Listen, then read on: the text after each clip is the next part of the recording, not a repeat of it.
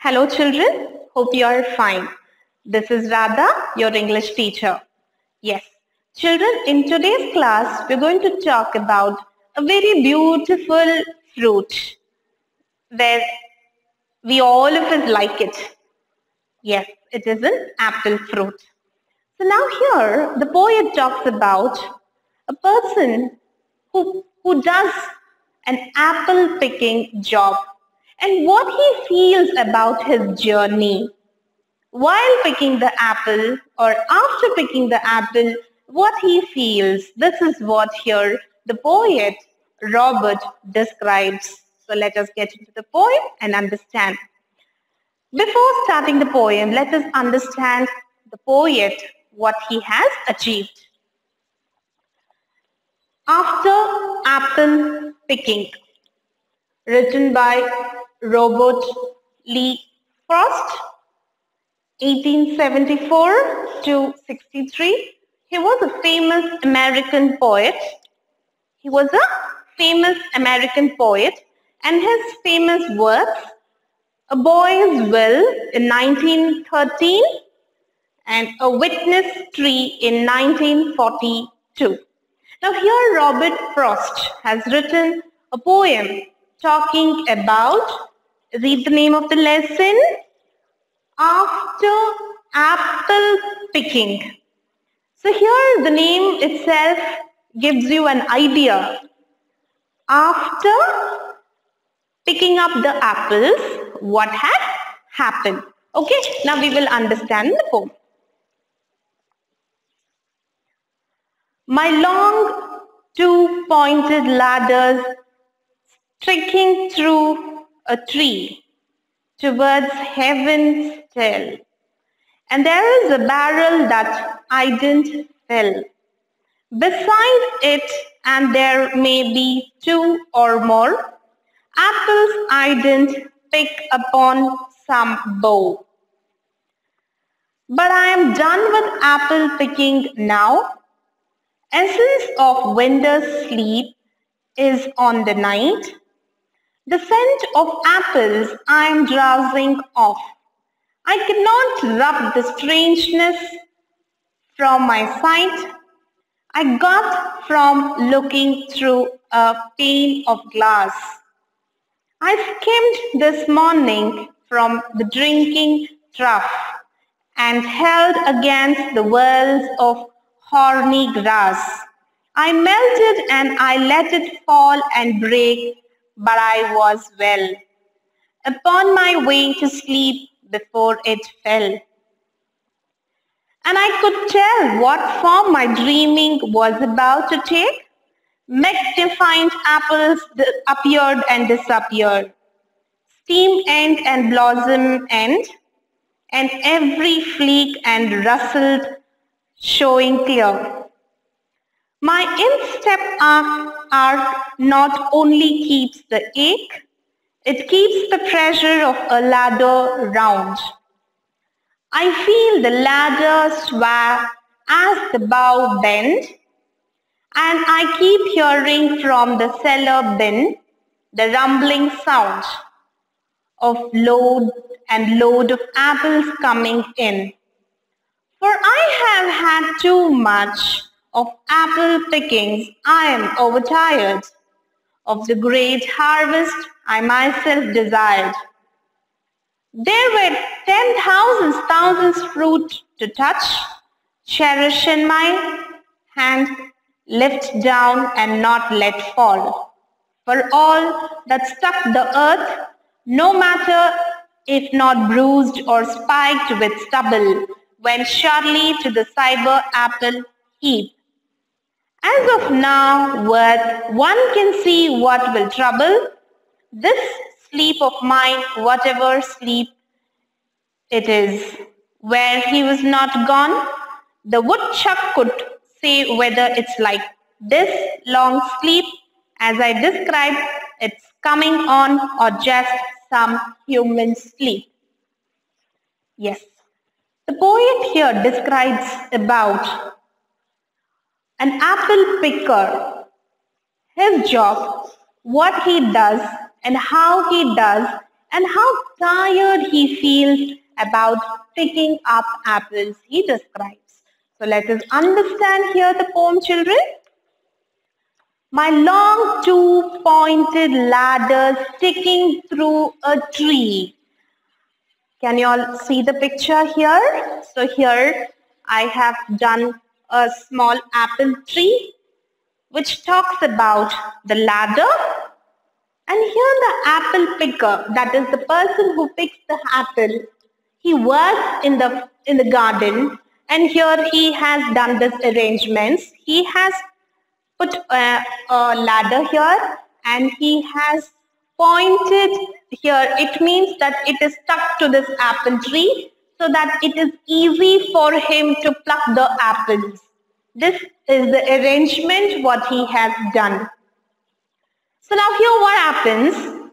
He, this is his duty, everyday duty. He has to go on tree to tree. He has to fix the ladder and he has to pluck the apples and collect it in the basket. This is what his job was. So let us understand his feelings like as he was doing the job, what happened to him.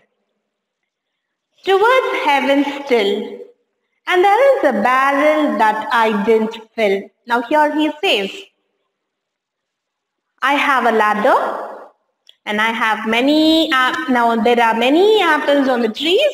Now I have to pluck them and fill it into the basket, but I still haven't done. Beside it, and there may be two or three apples, I didn't pick up some bough, means there are the branches of trees and on that there are many apples, but still I haven't plucked them yet, he says. Who says? The apple plucker. But I'm done with apple picking now, he says. I am tired of picking so many apples. It means at the end of the day, he, he says that how many apples can I pluck I am done for this day. Essence of winter sleep is on the night. The scent of apples I am drowsing off. Now he says, I am done with apple plucking. He says, my daily job is to picking up apples and transferring the transforming the ladder from one tree another tree fixing them up, plucking the apples. This is what I was doing. But now I am done. I am done for the day, he says. Because the winter, the, the winter is making him so tired, so sleepy because of the weather. Children, you all, you all actually know apples are grown in a cool place, in a cold climate place. So he seems to say that the weather is so uh, the winter weather is making me very chill. The weather is making me very cold. Now it's time for me to sleep. And he also says that because I am in the apple garden, the smell, the, the, the fragrance, I, he says the scent of the apples are making me fall asleep. It means making him feeling drowsy. I can't rub the strangeness from my sight I got from looking through a pane of glass. Here he says, the weather is almost chill and I can feel the ice on the grass. I can see the cubes on the grass. Here, pane on the plane. Pane means a sheet of glasses. Okay, so here he says, I can feel the, the pinch of the uh, ice on the grass. He says, it is so cold. I skimmed this morning from the drinking trough and held against the world of horny grass. It melted and I let it fall and break, but I was well upon my way to sleep before it fell. So as here he's describing, I was so tired, I was so exhausted doing my job. Finally, when I was trying to pluck one apple, when it was about to fall because I was so sleepy, but I did not allow that apple to fall down, he says, yeah? I skimmed this morning from the drinking trough and held against the world of horny grass. He says, I'm totally tired now. I'm done for the day. It melted and I let it fall and break, but I was well upon my way to sleep before it fall. And I could tell what form my dream was about to take. Magnifying apples appear and disappear. Now he says, although he has not yet slept, he says, even in my dream, I get this magnifying apple, means the big apple, the bigger apple he gets in his dream.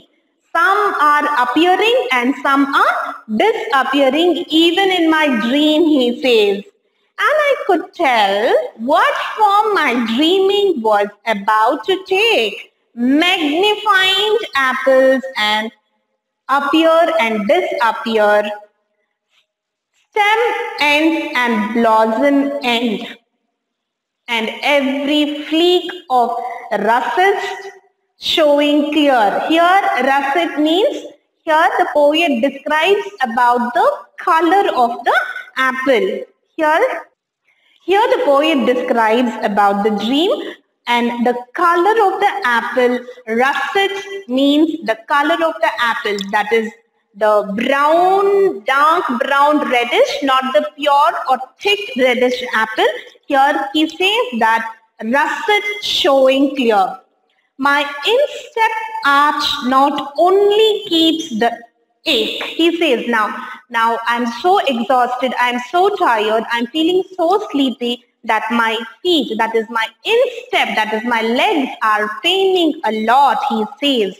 It keeps the pressure of a ladder's round. He says it because of the pressure carrying the ladder from one place to another, plucking up the trees, collecting the apples, putting it into the basket, it is not an easy task.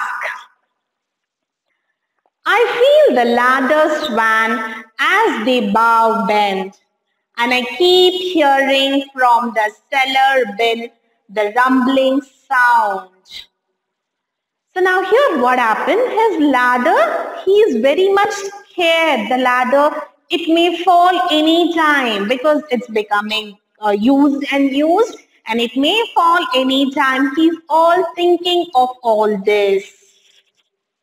I feel the ladder swan as the bough bends, means the trunk of the tree may fall or the ladder may skip, something like that he's feeling.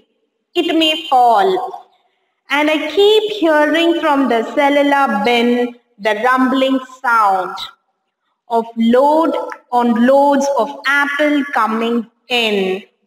For I have too much of apple picking. I am overtired. So he is so tired here picking up apples. He says, there are so many apples to be plucked yet. Of the great harvest, I myself desire there are 10,000 thousands fruit to touch.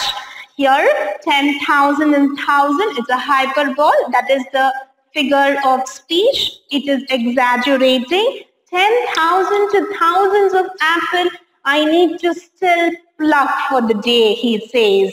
I have to touch so many apples. I have to touch the fruit. I have to pluck them up, thousands to ten thousands apple. Cherish in hand, lift down and not let fall. Here he also says that I must be so careful that each and every apple is saved. It should not fall down.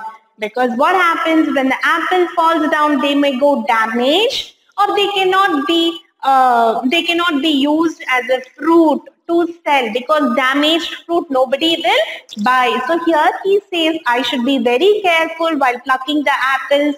They are not supposed to fall down. Cherish in hand, lift down and not let fall. This is the figure of speech again here.